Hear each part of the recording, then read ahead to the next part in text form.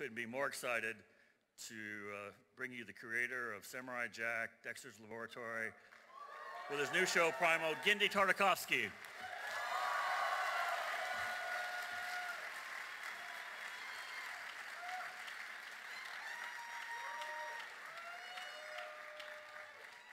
All right, Comic-Con! Yeah! I am so excited to be here, and I kind of want to just gauge the room a little bit. Who here are Dexter's Laboratory fans? All right. Samurai Jack. Good. Star Wars Clone Wars. All right. Uh, Sym-Bionic Titan. All right, good. Wow, this show is uh, something unique. Uh, I'm so excited making it. We're all excited making it. And it's a very different experience. We are doing 10 episodes, no dialogue.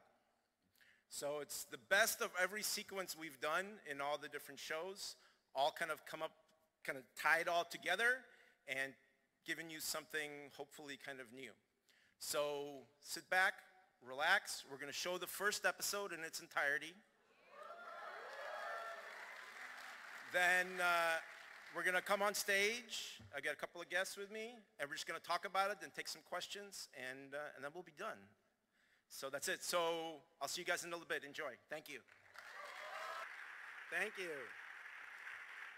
Uh, I got some a uh, couple people with me. So first of all, I want to introduce uh, Scott Wills, who's a production designer. Scott, if you want to come up. Scott and I have been working uh, for a long time together, and it's going to be the end soon, I feel. And then uh, also we have uh, the music composer, Tyler Bates. Awesome. Well, uh, I'm so excited to show this because we've been working on it for a little while now, and it's such a different show, and it's, uh, you know, when there's no humor, it's always hard to sit with an audience because I'm like, oh, nobody's liking it because it's so quiet. But uh, sounds like hopefully you guys enjoyed it.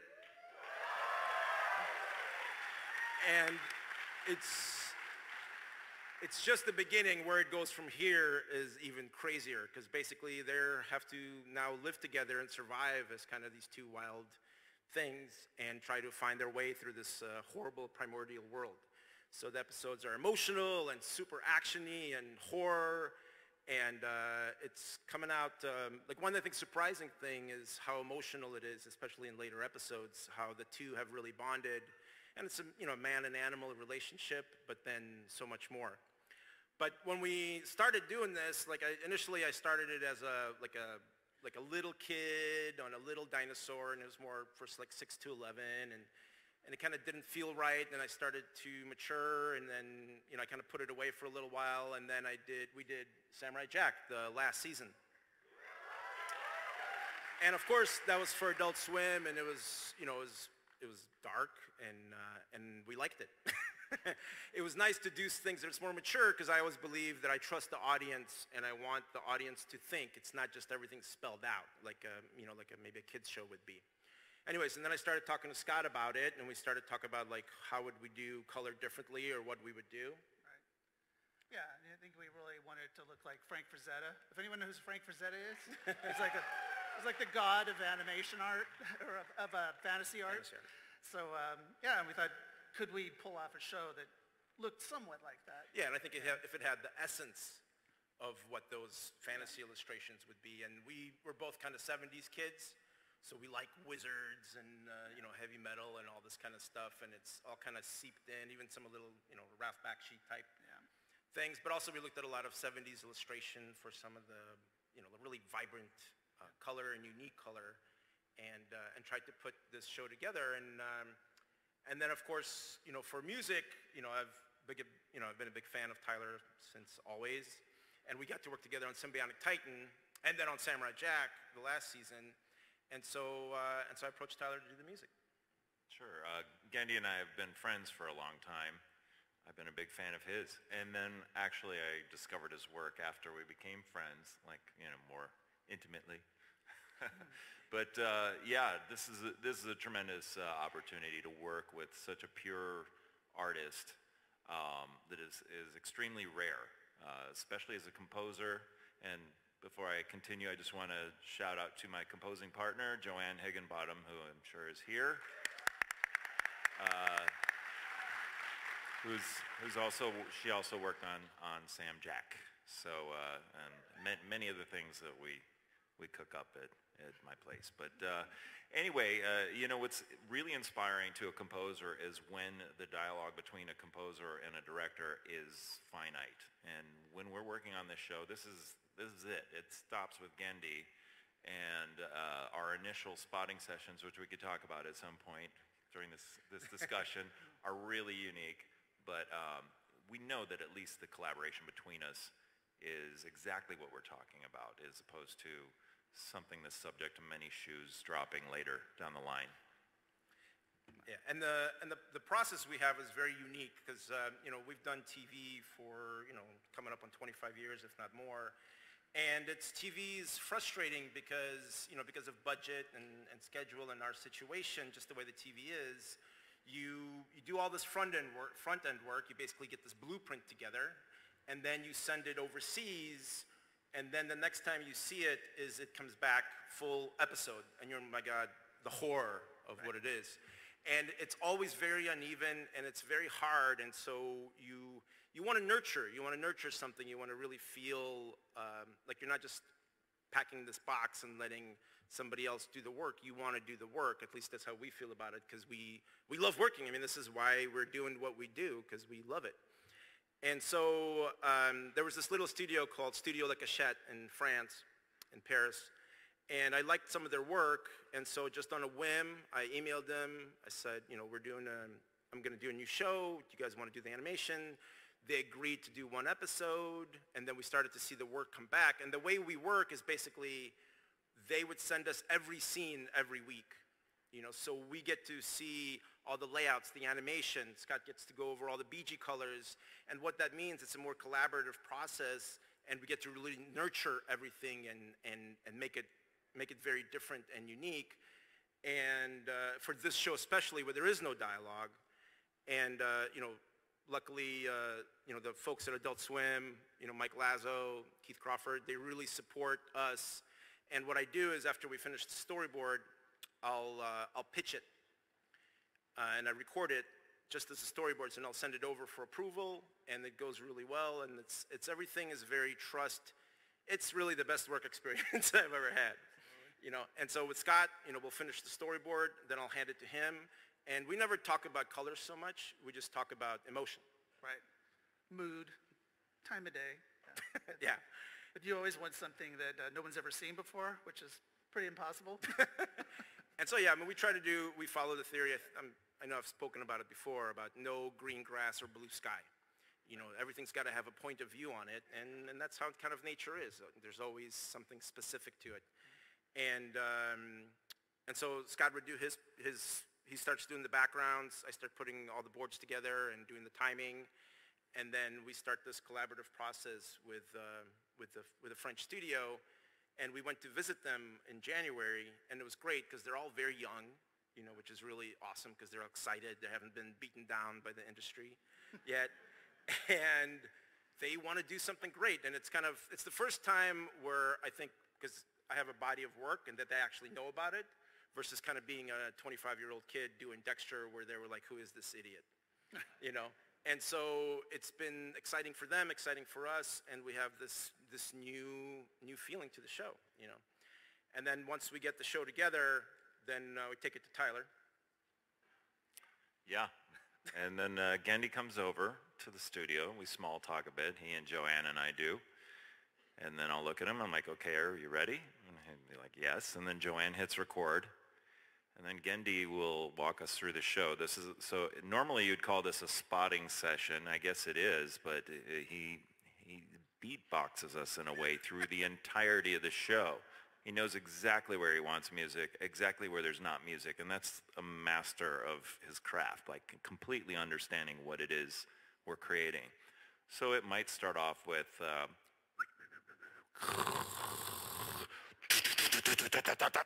you know, and that's like, you know, the first 10 seconds of our, our spotting and then it goes on. But um, it's really inspiring and we're dealing mostly with, with our internal discussion. There's no extraneous elements that we're referencing. It's really all about this conversation and building on the creativity that's been established from this show and our previous experiences. So it's really exciting. But that's kind of the, the process in a nutshell, but I know there's probably questions, so let's open it up to the floor and see what you guys want to talk about. Or nothing. Oh, there's people. Okay, yeah. no, that. No. One question. No. Okay, cool. Um, just like to say that I love the holds in the animation. That was beautiful. Um, and my question is that I know that animation totally has like a stigma of being like only for children, and I know that's been slowly dim- like diminishing over time. But do you still kind of face that in your artistic community, or just like when you're trying to pitch anything? Yes, for sure. It's still um, there's still a, a thing where animations for kids. We're definitely getting a lot better, you know, especially because of Adult Swim, you know, Simpsons, obviously, all those shows have helped us along the way, but can we break it into features? You know, I think television's definitely opening up, and, um, and we'll see how the, what the future holds. You know, and for features, it's got to make money. That's, at the end of the day, that's what counts, and it's a business, and so, um, but I feel like, I feel like America's ready. Yeah. you know, and, uh, and for me, Primal is the first big step towards that, and because uh, I think like on the big screen, in the theater, it could be amazing you know. Thank you. Uh, my question was uh, just looking at the, uh, watching the episode, it made me think of uh, old pulp novels like uh, Conan, Tarzan. Uh, did that have any influence in making of Primal? Absolutely. I, I was a big Conan fan. And, uh, you know, of course, we all watched the movie, and I lived the first 30 minutes of the movie. And then I discovered the books very late. And when I read the books, I'm like, oh my God, this is amazing. He's so much more of a character. And they were pulpy novels. That's what they were. And they were short stories. And I loved you just drop in, and it's him and some naked girl walking through the desert facing a monster. And I was like, that is so interesting and compelling. Can we make a show like that with that kind of story inspired structure. And that's what our episodes are. You know, they're very, we just kind of drop in and they're either fighting a thousand raptors or they're dealing with some kind of mastodon issue. But the big answer is, yeah, the, you know, Frank Frazetta, pulp novels, Conan, that was all huge in the inspiration. Thank you. Yes, good observation. Uh, going from ri- writing for Samurai Jack to something without dialogue, do you find it harder to write the stories without, without dialogue? Dialogue? Not at all. It's the most natural thing I do. I think uh, because I'm an, you know, an immigrant. I'm a citizen, but I, I did come to this country late. You can leave. Uh, the control of the English language, as you're probably aware of already, isn't that spectacular. Uh, so I'm very comfortable with the visuals. And that's, you know, by the way, this is why we're in the industry, because we want to do visual storytelling. You know, I love to escape, and especially, you know, I love music and uh, sound effects, and to create a world with sound and visuals is incredible. And to transport you guys there, if it's successful, is, is really uh, what it's all about. So it's actually easier than dialogue in some weird way. Thank you. Uh, so my question was also a little bit about that choice to make it wordless. Um, Shaun Tan's The Arrival is probably one of my favorite uh, graphic novels, and that's a wordless one. Um, so I'm just wondering, what was your uh, motivation behind making it wordless? I know you talked about the love of the visuals, um, but also, and how did you convince them to uh, let you make that bold choice? Well, the, the inspiration was, uh, it really kind of stemmed from when I mixed the episodes. Because when I mixed the episodes, we mix them for television, so you're, without getting too specific about it, you only have a certain number of channels where you can have music and effects and dialogue, and usually everybody wants, needs to hear the dialogue, and so all the music and effects go down. And I'm like, oh, but I love that music cue. I want to hear it up. And so through Samurai Jack, I started to really get rid of dialogue, even just grunting, because I always found that even when Jack goes, Ugh! it's got to be the loudest thing on the screen, even though there's this amazing music playing. And so I thought, well, maybe I could do a whole show like this. And there was zero convincing involved. I basically pitched the first storyboard to Mike Lazzo, and he goes, man, this is great, let's do it. And, and, and, and that was it. So it was uh, very, very lucky. Hi. Um, there's so much emotion and so much grief that I felt by watching that. Um, and I was wondering if you could talk about the decision to have something positive come from so much loss and so much grief. Well, I mean, I guess, I guess that's kind of life, you know, like we are all deal with, not to get too deep and emotional, but we do, everybody has some kind of tragedy or grief or something, and you got to, you know, kind of move on and, and somehow find a way to deal with it. And I think, especially in this hardcore primordial world, and the thing about it is, is I didn't want to just do a violent show just because we can. You know, I still wanted it to have story and character and emotion because that actually heightens the violence, especially if you care for the characters, you know? So that's kind of part of our DNA. We never want to just do it just violence for violence sake because we can. Um, we wanted to do uh, motivated. You know, you really want to have the emotions motivated and and it's uh, and you know drama brings characters together. It's you know story rule number one. Thank you. I'll sway on screen. All right. Hi. Um, uh, big fan of all, all you guys' work. I was kind of curious about the um, art direction in terms because it's looking more and more cinematic. Even uh, dare I say more than on Jack. I was kind of curious, like the influences that you guys had for it. Well, yeah, we mentioned Frazetta, but also Moebius is one of our favorites. And it's a widescreen this time, even more so than Jack. Um, I don't know, I mean, visually. yeah, I mean, it's, it's to tell the story, to get, to suck out the most cinema out of TV that we can. And yeah, like in Jack, obviously we changed all the um, screen ratios. But for this, we decided we needed the biggest scope.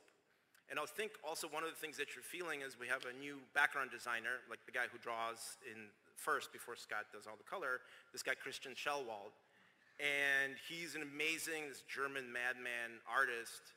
And he does these incredible detailed drawings that are so lush and the, the compositions are very unique and they're very cinematic. So I think it's just natural. And that's one thing about, you know, I think all of our loves of 2D is you get to see his drawings on screen. You get to see Scott's paintings on screen, you know. And uh, I think it's part of that, um, the visceral reaction that you would have.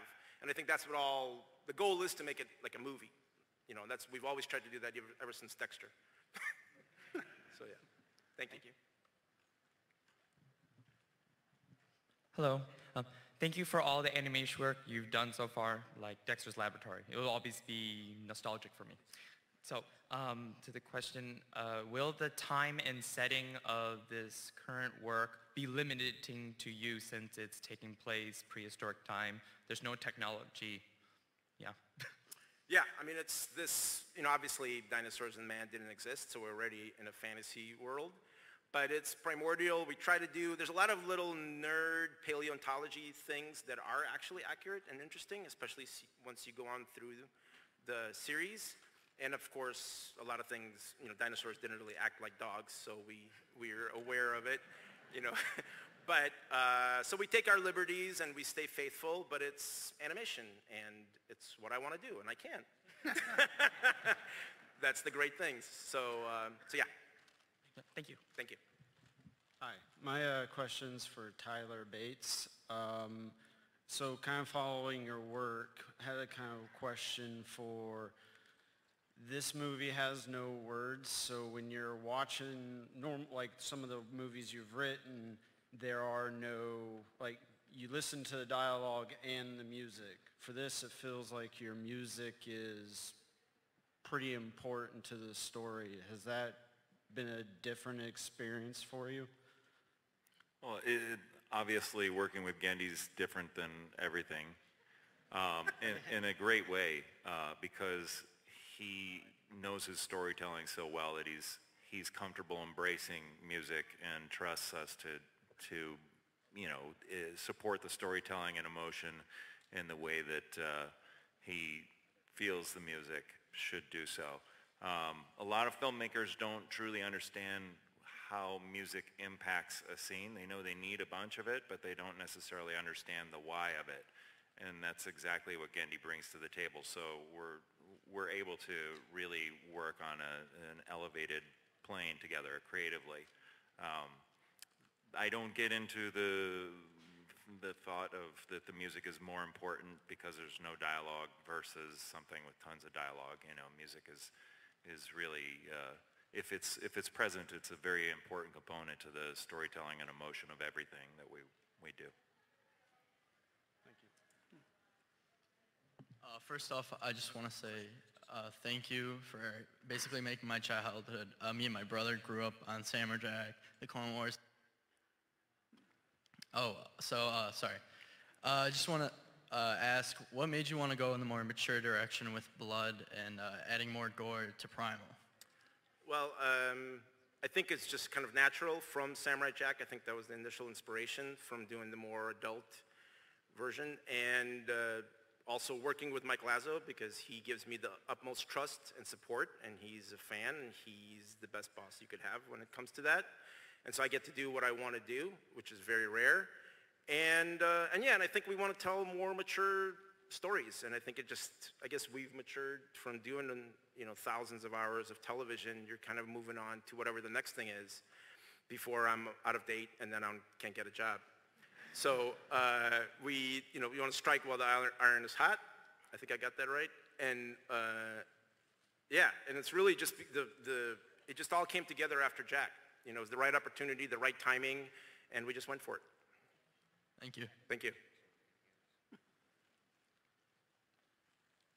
Hi guys. Uh, so I really love dinosaurs, and it was really cool to kind of look like an Allosaurus and a Tyrannosaurus. So I was wondering uh, what other type of other prehistoric creatures do you have in mind showing uh, the rest of the season? Every single one. no, we do. We have a lot. We have some that we made up too, just to get a little more horror type scary stuff in. But there's a lot of dinosaurs and a lot of little creatures and some early prehistoric mammals too. So uh, it's, it's in there. Don't miss an episode. and I think the ticker just ran out, if I'm right. So uh, thank you so much. Uh,